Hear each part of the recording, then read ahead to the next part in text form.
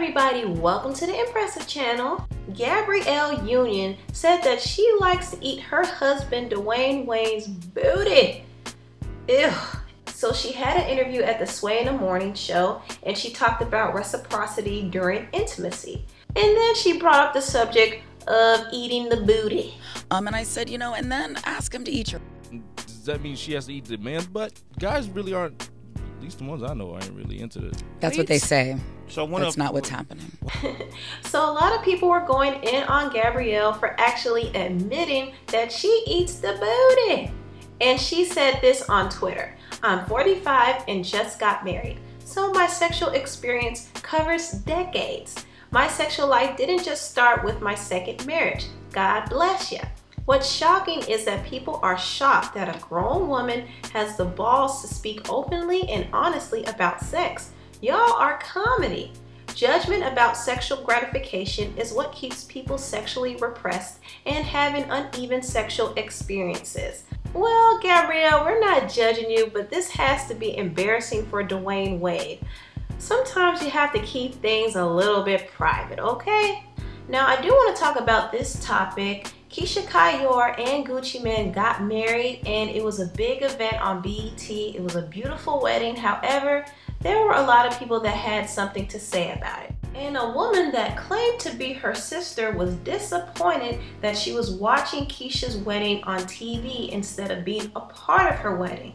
So she said this on Instagram. Yesterday was a bittersweet day for me because I watched my sister, the most beautiful bride I've ever seen, walk down the aisle to marry the love of her life.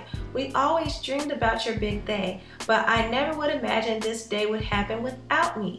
I can't ask God enough how a bond I thought was so strong could be broken. My heart is filled with so many unanswered questions. You were my sister, friend, mentor, and confidant, and you know there is nothing in this world I wouldn't do for you.